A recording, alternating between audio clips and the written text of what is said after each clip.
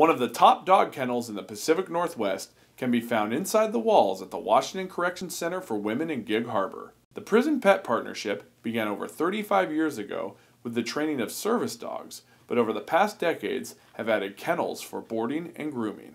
Getting to be with dogs all day, totally therapeutic. It this place is like an oasis. So you deal with your prison life and like everything that goes on inside of the prison, but you come here and like you're working. Inmates can wait years to join the program. Most of the 18 kennel employees spent close to a decade honing their skills. The women are working towards certification from the International Professional Groomers Association. A value in the department's mission is to improve public safety. The time spent, along with the certification, help people to grow and change, ultimately aiding in a safer transition to the community.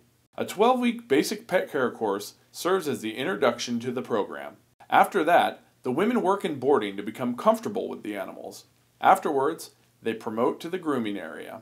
The seven groomers work on three dogs a day, with clients coming from as far as Seattle. Currently, the client list is between two and 3,000. The revenue for the boarding and grooming helps support the program, along with covering the cost of training service dogs.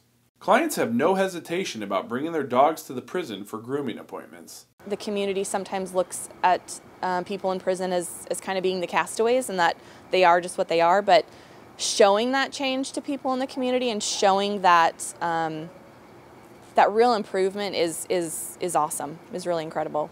When women release, the Prison Pet Partnership supplies them with a toolbox that has clippers, combs, scissors, and brushes.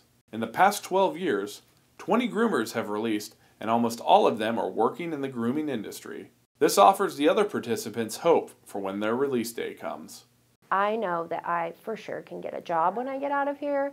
I know that I can like make a good living, that there's nothing that will prevent me from creating a successful and good and stable life.